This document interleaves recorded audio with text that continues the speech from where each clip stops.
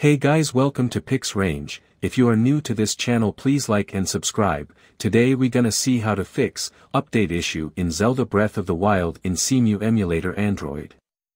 To fix this issue you need two things, the Cemu emulator itself and as well as Wii U downloader. Now launch the Wii U downloader, select the region as USA, now search for Zelda Breath of the Wild.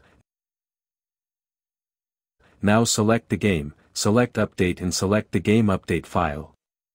Don't forget to select decrypt contents, now click download queue, choose the location to save the downloads.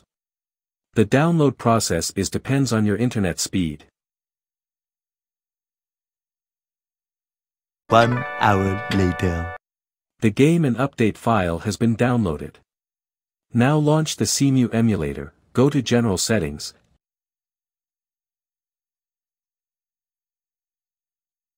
Add game path, select the game location, keep in mind the base game and update should be in same folder. Click select. Now you can see game has been appeared.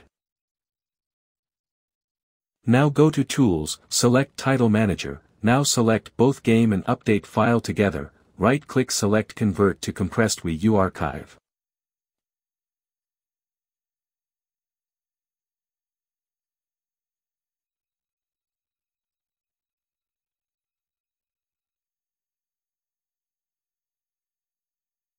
Now save the file. It will take some while to convert the file.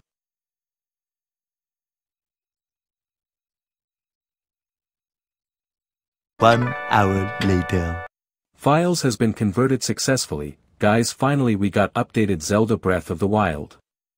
Now copy the updated game to Android. Let's test the game, guys watch carefully and copy all my settings to fix crashing issue and lag.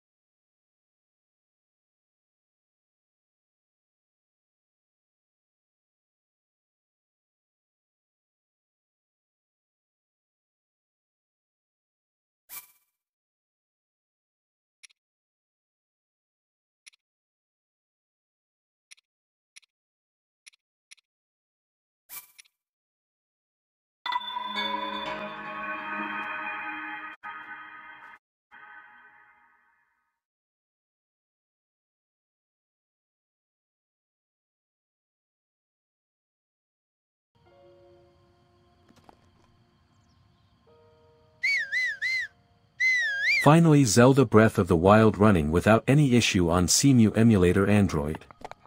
Guys thanks for watching the video and don't forget to like and subscribe. If you have any doubts let me know in comments.